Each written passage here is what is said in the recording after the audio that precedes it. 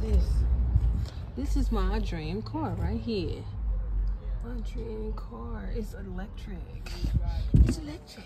Okay, look, look. Yeah, it's got speakers in the headrest. Are you kidding me? It's got uh, it's got six Wow. seats. So, we were just looking at cars just for the fun of it, and we were not looking to purchase anything, but this was a head turner for me. And so I was so intrigued, I decided to do some research about it, and this is what I found out about it.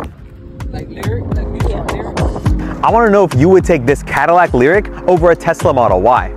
Inside, there's a massive 33-inch curved 9K display that has Google Maps, Apple CarPlay, and Android Auto. You get this leather tray that slides in, leather on the shelf, two cup holders, and you can take your phone and slide it into the wireless charger down here.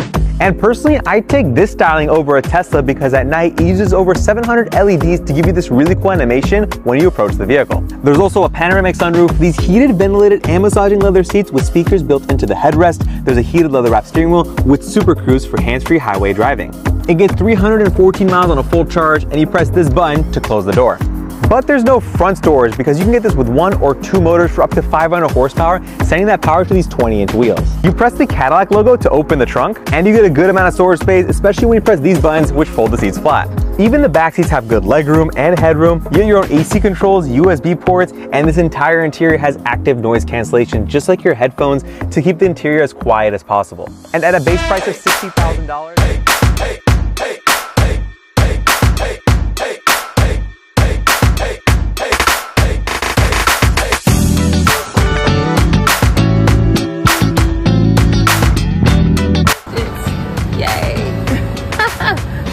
so happy.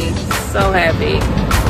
And we definitely want everybody to know to encourage you guys that when you put your faith and trust in God and you take care of your business, be responsible, pray, trust God, that He'll give us the desires of our heart. Whatever you desire, you can have what you want. Because I never ever would have thought that I will be getting a brand new car. Like, that's amazing to me, and I know it's all God. I give I can't believe this thing is actually massaging me.